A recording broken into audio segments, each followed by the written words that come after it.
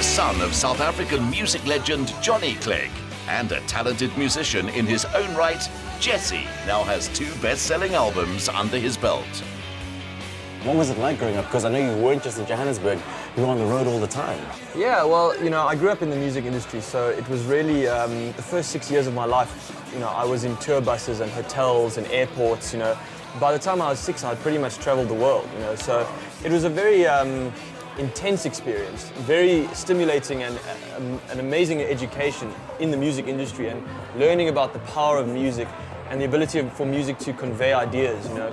It was also very unpredictable and chaotic, you know. When you're young, like, that kind of constant moving, it can kind of make you feel like there's nothing to hold on to, you know, nothing to rely on, you know. So there was, there was good sides and bad sides to it. And so having seen all that, when you wanted to get into the industry, there must have been something in you that sort of fought it, right? You know, when you see the, the, the real underbelly of the industry, you know, you see how the, the, the, mechanisms work and how a musician has to carry himself and how uh, disciplined you have to be.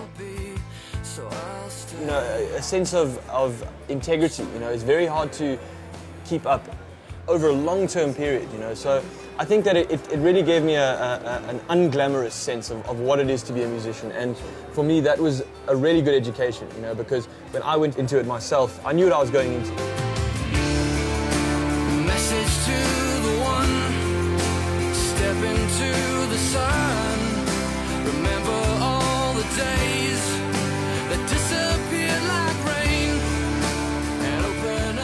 Jesse gave us a peek inside his Joburg studio, which is filled with memorabilia from his musical journey.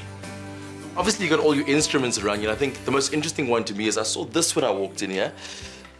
What's this guitar about? This was actually made for me by a, a, local guitar maker, and he asked me to choose a theme. We, we just released Clarity as a single, and Clarity was based on Alice in Wonderland, you know, the whole Let's Go Down the Rabbit Hole. And, and there's this whole sort of Alice in Wonderland theme, which is quite cool. It's got the Mad Hatter and the rabbit. It's kind of a unique piece.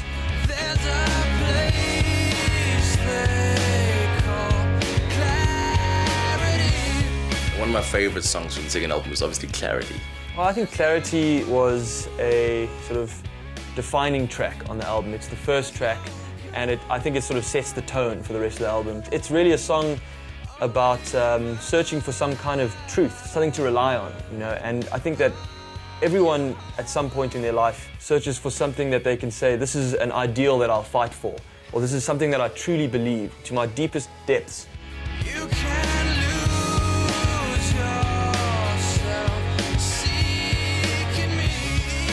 So what's in the title Life on Mars?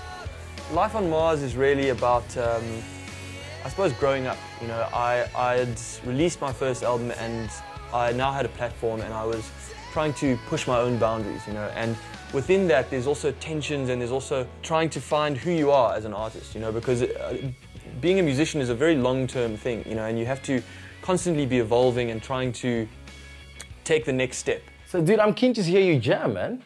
Cool, man. Well, uh, let's bring in Richard and we'll uh, we'll throw something together for you, man.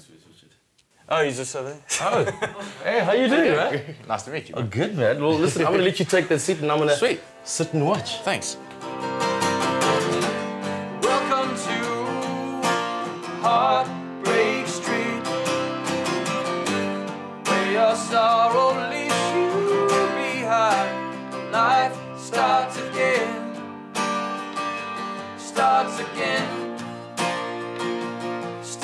Again, it starts again. Seriously, seriously awesome. When you spoke to my producers and you said you want to do something a little extreme, yeah. So what do you think we're doing? I have no idea. We're going skydiving, brother. That sounds amazing. Huh? You keen? Let's do it. Budding adventurers take comfort. Skydive Joburg offers a tandem freefall with an experienced diver. You look a bit nervous, are you? Yeah, I'm a little bit nervous. I'm Yeah. on edge.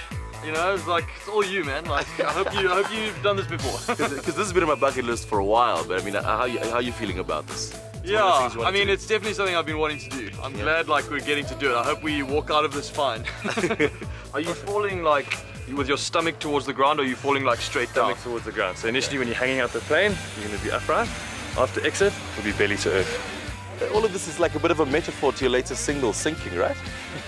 Yeah, it is in fact. Like I do have a sinking feeling right now. Maybe when I wrote it, I had like a foresight of going skydiving, and I wrote this song about it. But are you an adventurous guy? That's the sort of stuff you do on a regular. Uh, not on the regular, but you know, me and my friends, we used to go out quadding and cycling, and we did bungee jumping once. So I do, I do enjoy it. But skydiving, I haven't done yet. So this is a first.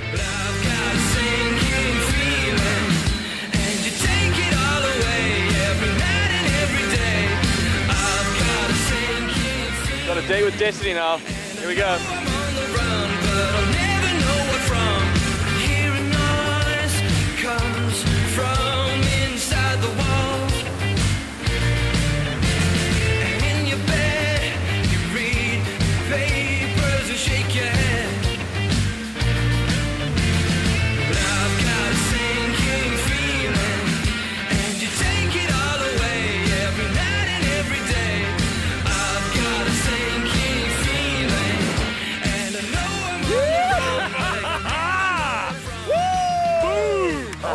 Unbelievable, bro. Unbelievable. You're gonna do it again, right? No. Dude, free falling, you are flying so fast, bro. That was amazing. Wow. When you get out, it no, was you unbelievably quick. Yeah. And I just, Fly. like you said, just remember to enjoy that Yeah. moment. Just keep my eyes open. But oh, Crazy, yeah. one of the best experiences I've ever had in my life. You do the happy dance. Here we go. Yeah. Want to watch him live? Jess is recording his unplugged album at the venue Melrose Arch on the 21st of this month. Log on to topbilling.com for details.